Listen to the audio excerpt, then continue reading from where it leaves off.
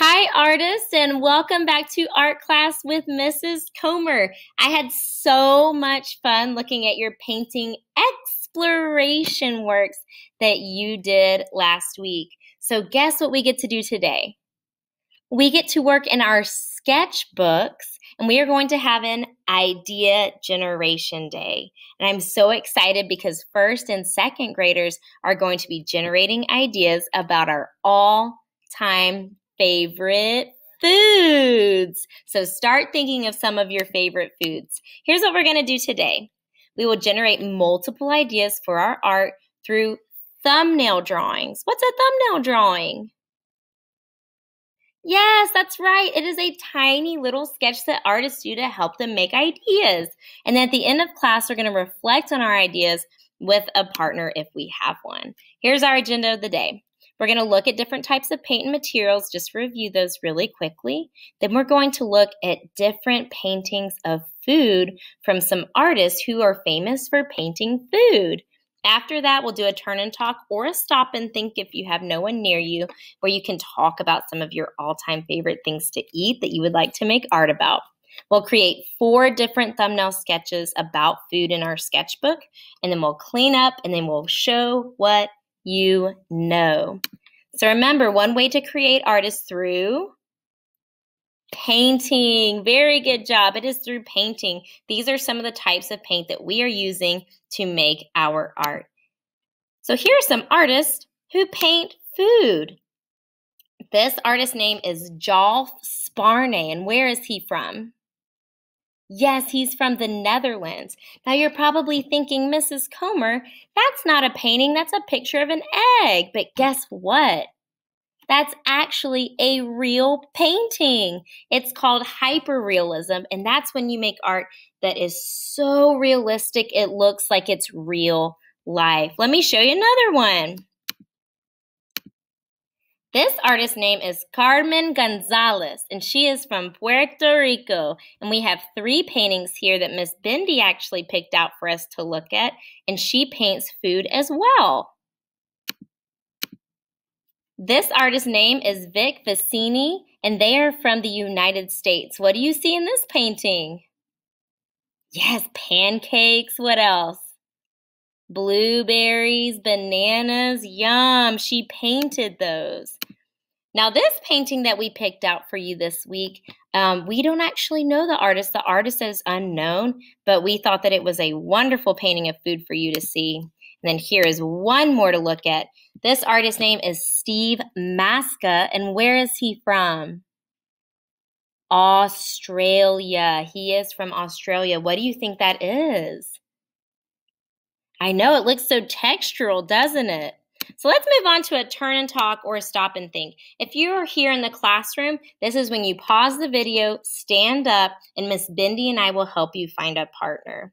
If you are at home, you can either talk to somebody near you if they're making art with you today, or you can just stop and think to yourself the questions and the answers because often people around us are busy. The turn and talk question of the day is What is your favorite food and why? What are some of your all time favorite foods and why do you like them? Are you ready?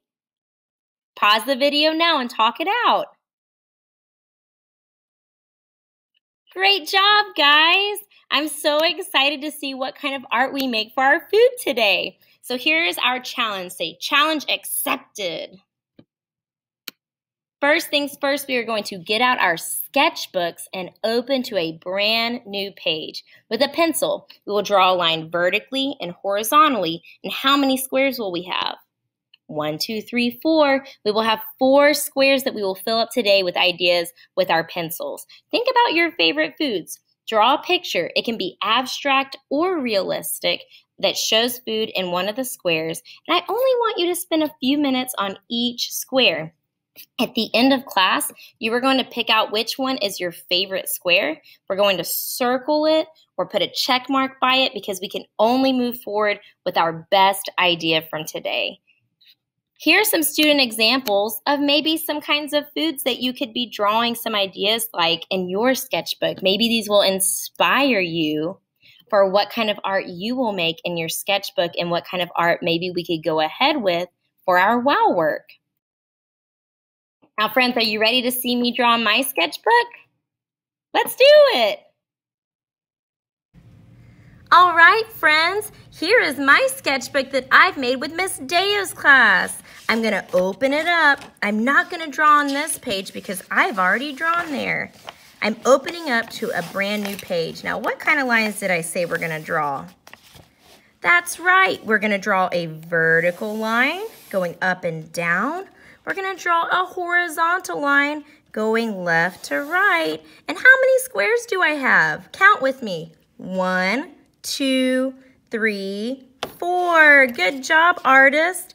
I want to be organized. I'm actually going to write the numbers. One, two, three, and four. Now, hmm, what kind of food should I draw? Let's see.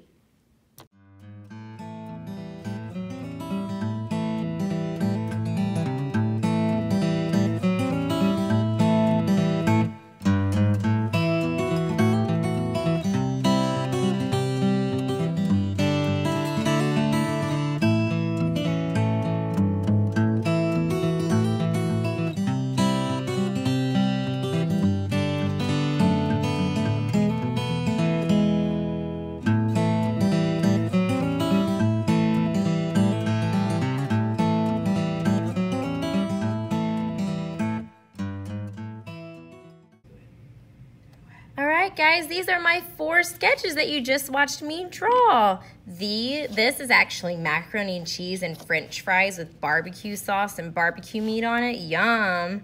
This is a um, big piece of watermelon. I kind of zoomed in on it.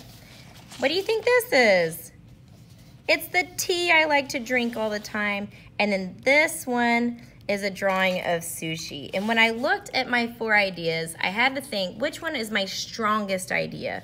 Which one do I want to paint for a wow works? What is something I want to do for two weeks in a row? And I decided it was number four. And I'm so excited to do that next week.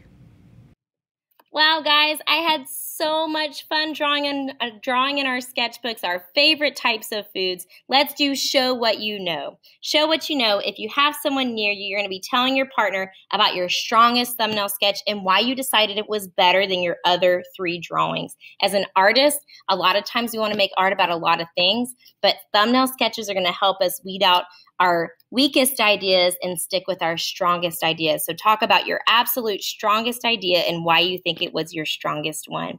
I had so much fun making art with you today, and I can't wait to paint with you next week. I'll see you later.